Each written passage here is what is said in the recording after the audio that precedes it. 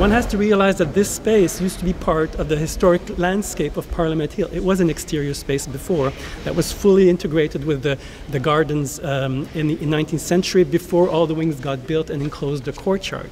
And so it was important for us to keep that feel of an exterior space with a lot of natural light and a new architecture that evokes this clearing in the forest in a way. The additional part is the contemporary aspect, which is creating that backdrop that we see today, which is this wonderful architecture with the background of the, uh, the historic building behind it.